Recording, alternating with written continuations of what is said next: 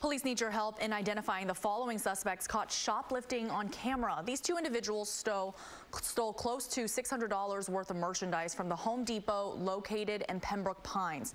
If you have any information, you're asked to call Broward Crime Stoppers at 954-493-TIPS.